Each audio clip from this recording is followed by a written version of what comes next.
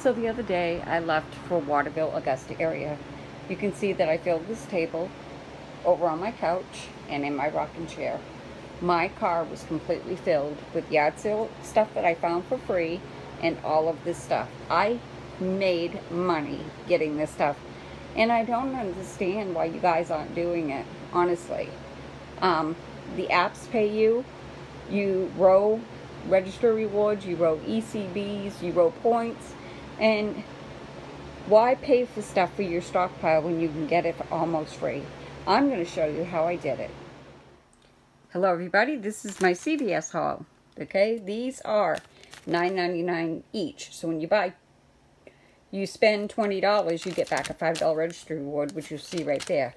Okay, um, the percentage rule with CVS, $9.99 and $9.99 does not equal 20 but it's only a couple pennies short. So they follow that rule and they give you the the um, extra care buck, okay? So these are $9.99. I used a $4 off coupon right there. So that made them $5.99, okay? Actually, no. This is wrong. I used a $3 coupon. And I used a 3 off of 15. I had a 3 off of 2, a 3 off of 15. That come from the red box machine, the 3 off of 15. The $3 coupon was manufacturer coupon. So that was $6. I used 5, 6, 7, 8, 9 and, and register reward money and 4.98. So that's 13.98.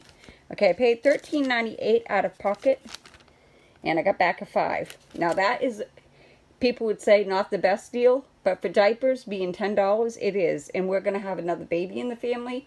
My great-granddaughter is going to have my granddaughter is going to have my, another great grandchild, okay? And we're going to the reveal party on Sunday. So I figured I could throw these into the mix on either a baby shower or if if she doesn't want them, I can sell them $5 a piece in the store.